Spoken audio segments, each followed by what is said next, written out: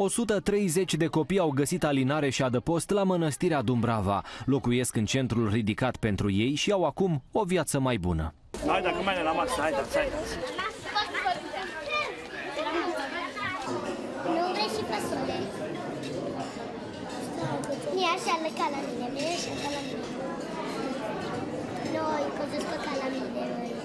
Doamna Amalia este asistent social și un ajutor de nădejde pentru părintele Vasile. Copiii o consideră mama lor. Ți dor de mama ta. Da, mi dor, mi dor. Dar nu o cheamă pe mama ta. Face pe mama mea o cheamă mama. Mulți dintre copii sunt frați. Îmi doresc să am o casă și să stau lângă familia mea. Cine este familia ta? Familia mea... Mami. Mama. Mama. Hai să fim toți frații noștri într-o casă. Noi pe părinte îl iubim ca și pe tată.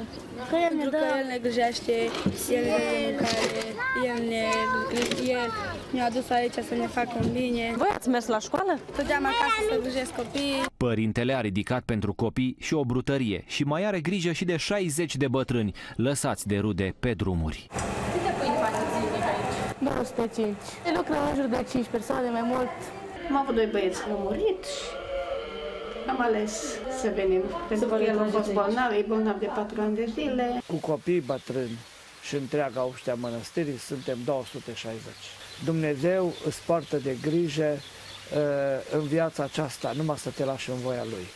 Și așa a făcut Dumnezeu ca acești copii să ajungă aici. Și atunci am zis, dacă eu am avut o viață grea ei, să fie niște copii fericiți. Și copiii și bătrânii și-au găsit liniștea la mănăstirea Dumbrava și trăiesc toți într-o mare familie.